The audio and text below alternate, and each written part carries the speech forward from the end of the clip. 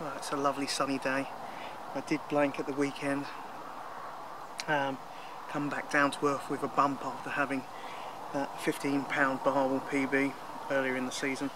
And yeah, Loddon's brought me crashing back to earth in only the style it could. But I am out today. As I say, it's a lovely sunny day, but it's um, very nice. We had some heavy rain during the last couple of days. The river is up, and um, yeah, I'm out today. Chance in my arm to see if I can pick one up, or maybe a couple of barbel, who knows. But one would be nice after a blank at the weekend. Anyway, what I'm using today, I'm using my uh, normal low resistance uh, leger setup in conjunction with one of these, and that's a nice dinky, very small bait dropper. You can fill that up with your pellets, your seed, um, your hemp, um, maggots, casters and get them straight on the bottom nice and quick. Just push this down, open the latch. I'm sure many of you have seen these before. And um, yeah, fill it up, close it, connect it on the back and um, yeah, cast it out. That hits the bottom where the weight is, that door opens and dispenses your free offerings, be that pellets, casters, maggots, hemp, birdseed, etc. Obviously I'm using birdseed and um, that's been nice and freshly made up. There it is there. Really, really nice. Nice amount of aniseed on that great leek off. And I found, you know, I use that more these days than I use hemp for the barbel. And it's superb. They absolutely adore it. And they do tend to get their heads down on it quite nicely. Uh, before I set up, I did do that. Um, baited up and I left it for around about 45 minutes. You know, you haven't always got to be in a hurry to set up. I do think at times people do rush to set up too soon and um, I think that can be quite detrimental. You know, just take your time, set up slowly, survey the area that you're going to fish and, you know, maybe bait it up lightly. Don't always be put off with the fact it is sunny conditions. Um, you know, the main thing I would say is you can always adjust your tactics. You can go for smaller hooks in sunny conditions, smaller hooks, smaller baits, and um, you know the main thing I would say is you know if it's sunny do just approach the river. Don't let it have a negative impact on your thought process. Don't let it affect your attitude. Be positive. That is one of the main things I would say in fishing in general. Is to always remain positive and always just try to take some positives from like any negative trips that you might have had or, or blanks that you might have had. For myself at the weekend one of the things I would have said that I did wrong I was too noisy in my swim it's unlike me, despite being quite tubby, I usually try to be very quiet and I don't think I was quiet enough and I think that cost me the chance of a fish or two, who knows. But I do try to look for the areas where I may have gone wrong, areas where I could have done something better. But as I say, regardless of the conditions, always approach the river or whichever waterway you're fishing, you know, with a positive outlook. That will carry you that extra percentile further in, in your actual catching and also helps to keep a nice uh, you know positive outlook despite blanking or maybe going through a little patch of where you're not catching quite as consistently. You know I, I do think that goes for goes to take you the extra mile so to speak.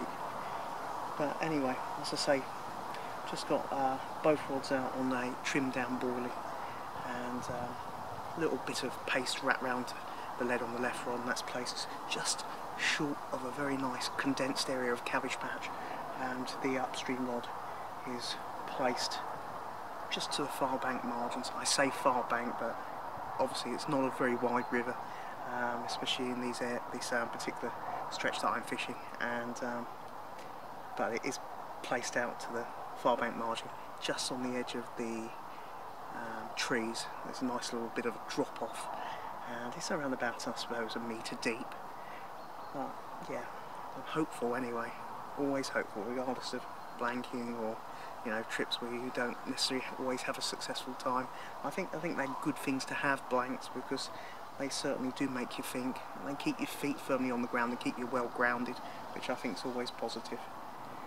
But yeah, I'm using two rods today. Now, I don't always use two rods on the Loddon. Um, some of the swims, you know, if you use two rods, you're going to perhaps catch less fish. uh, it can have a very negative impact on the area that you're fishing and where you might have picked up two or three fish on a single rod, putting two lines into a small area of the river, you know, you might only pick up one or you might not pick up any. So yeah, I do pick and choose the swims that I'm going to use one rod on, or if I'm going to fish a few swims in rotation and use a single rod. That's an important thing to think about. Don't overload the swim with using an extra rod always. Try to think maybe I would perhaps do better with a single rod and um, putting less pressure on a small spot or small area of the river.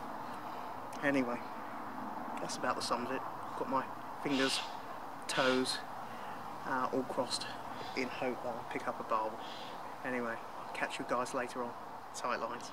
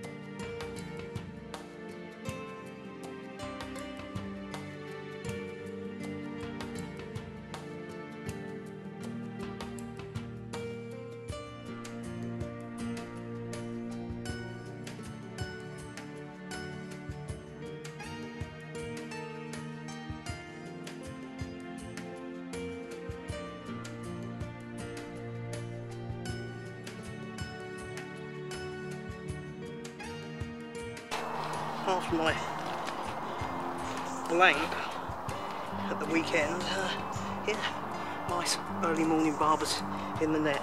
It's a very nice looking eight pounder. Really good scrap, absolutely pristine condition. Very lively. There we go. Look at that. What a lovely proud dorsal, hey? That has really made my day. As I say, bright sunny morning, but if you get your get your tactics right, and um, yeah, at the weekend I wasn't too quiet in my swim. I have to admit, I did um, make a bit too much noise, and I think that cost me a fish or two. But yeah, nice to come out and get it right today, and um, get another Loddon barbels under your belt. Well, it's 20 minutes past 12. I stayed 20 minutes longer than I should have. You know how it is when you've had a fish fight, you want five minutes extra, turns into 10 minutes, turns into my case 20 minutes extra. But I've packed the rest of my gear up, just got my weight sling, landing mat to roll up, and I'm going to head off home. It's really nice though, in the bright conditions, short trip, pick up a nice feisty, nicely conditioned 8 pounder like that.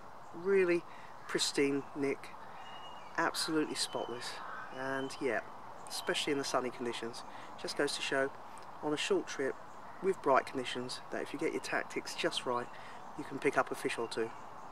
Wouldn't mind staying a bit longer now because it has clouded up but ah well I'm going to head off. So hope you've enjoyed the video. Until my next one take care.